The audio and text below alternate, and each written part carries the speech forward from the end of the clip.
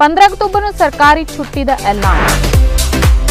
ਬੰਦ ਰਹਿਣਗੇ school, college ਤੇ ਦਫ਼ਤਰ, ਜਾਣੋ ਕੀ ਹੈ ਕਾਰਨ ਪੰਜਾਬ ਸਰਕਾਰ ਵੱਲੋਂ 15 ਅਕਤੂਬਰ ਨੂੰ ਸਰਕਾਰੀ ਛੁੱਟੀ ਦਾ ਐਲਾਨ ਕੀਤਾ ਗਿਆ। ਦਰਅਸਲ ਪੰਜਾਬ ਦੇ ਅੰਦਰ 15 ਅਕਤੂਬਰ ਨੂੰ ਪੰਚਾਇਤੀ ਚੋਣਾਂ ਹੋਣ ਜਾ ਰਹੀਆਂ ਨੇ, ਜਿਸ ਦੇ ਸਬੰਧ ਵਿੱਚ ਸਰਕਾਰ ਵੱਲੋਂ ਸੂਬੇ ਦੇ ਅੰਦਰ 15 ਅਕਤੂਬਰ ਦੀ ਛੁੱਟੀ ਐਲਾਨੀ ਗਈ ਹੈ। ਪੰਚਾਇਤੀ ਚੋਣਾਂ ਕਾਰਨ ਪੰਜਾਬ ਵਿੱਚ ਛੁੱਟੀ ਦਾ ਐਲਾਨ ਕੀਤਾ ਗਿਆ। ਹੈ ਚੋਣਾਂ ਕਾਰਨ 15 ਅਕਤੂਬਰ ਨੂੰ ਪੰਜਾਬ ਵਿੱਚ ਗਜ਼ਟਿਡ ਛੁੱਟੀ ਦਾ ਐਲਾਨ ਕੀਤਾ ਗਿਆ। ਸਾਰੇ ਸਰਕਾਰੀ ਦਫ਼ਤਰ, ਕਾਰਪੋਰੇਸ਼ਨ ਅਤੇ ਵਿਦਿਅਕ ਅਦਾਰੇ ਬੰਦ ਰਹਿਣਗੇ। ਇਸ ਤੋਂ ਇਲਾਵਾ ਚੰਡੀਗੜ੍ਹ ਵਿੱਚ ਵੀ ਸਰਕਾਰੀ ਦਫ਼ਤਰ, ਬੋਰਡ, ਕਾਰਪੋਰੇਸ਼ਨ ਬੰਦ ਰਹਿਣਗੇ ਕਿਉਂਕਿ 15 ਅਕਤੂਬਰ ਨੂੰ ਪੰਚਾਇਤੀ ਚੋਣਾਂ ਹੋਣੀਆਂ ਨੇ ਕੋਈ ਵੀ ਦਫ਼ਤਰ ਸਕੂਲ ਜਾਂ ਕਾਲਜ ਨਹੀਂ ਖੁੱਲੇਗਾ ਤਾਂ ਜੋ ਹਰ ਵਿਅਕਤੀ ਆਪਣੇ ਵੋਟ ਦਾ ਇਸਤੇਮਾਲ ਕਰ ਸਕੇ ਕਿਉਂਕਿ ਹਰ ਪਿੰਡਾਂ ਦੇ ਵਿੱਚ ਚੋਣਾਂ ਹੋਣੀਆਂ ਨੇ ਚੋਣਾਂ ਨੂੰ ਲੈ ਕੇ ਛੁੱਟੀ ਦਾ ਐਲਾਨ ਕੀਤਾ ਗਿਆ ਹੈ। ਸਰਕਾਰ ਵੱਲੋਂ ਨੋਟੀਫਿਕੇਸ਼ਨ ਜਾਰੀ ਕਰ ਦਿੱਤਾ ਗਿਆ ਹੈ, ਜਿਸ ਦੇ ਵਿੱਚ ਕਿ 15 ਅਕਤੂਬਰ ਨੂੰ ਛੁੱਟੀ ਦਾ ਐਲਾਨ ਕੀਤਾ